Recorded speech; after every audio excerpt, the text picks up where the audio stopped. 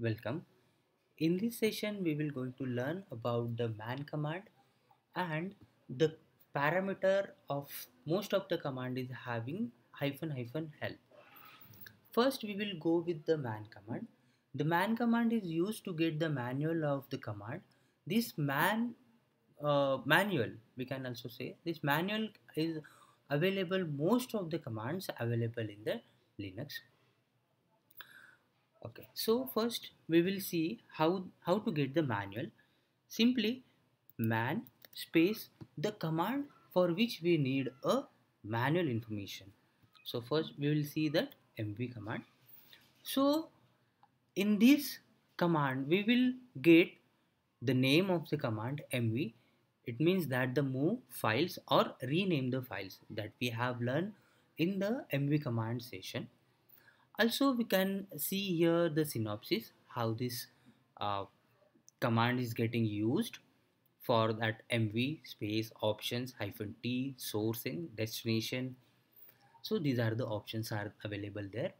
So also we will get the complete description of the command source to destination or move source to directory.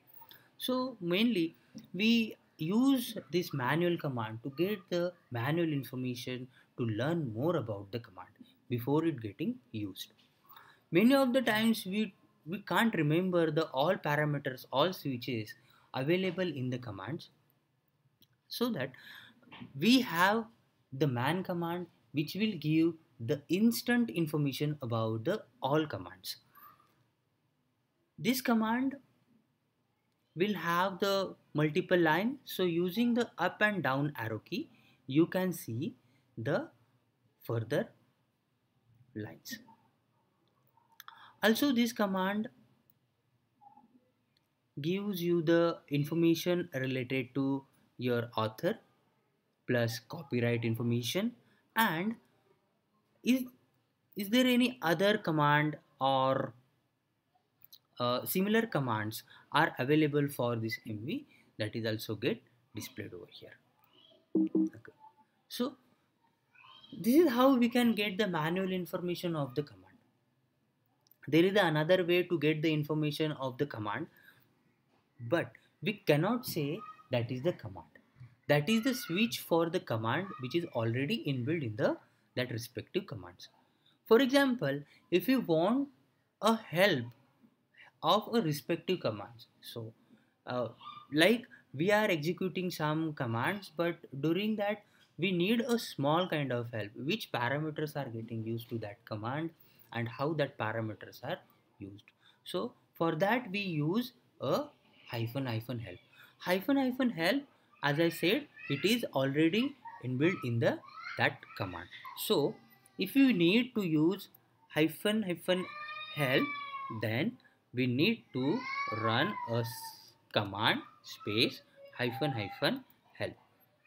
This will give you the help of this command that which parameters and what are the options available to execute the command. However, this command hyphen hyphen help output is a very long output. So, we need to use a pipe more to read the output from start to end. So this is way you will get the usage and the description, short description and also the mandatory arguments which we can use and the uh, why that arguments we are using that information. It means that the information of that argument and also so simple that GNU online help of this where we'll get the online help of this command and all these things. So this is the way we can get the help of the command a respective command and the manual information of the command. So manual information and the getting help of the command both are the different things. Both are the completely different things. Okay?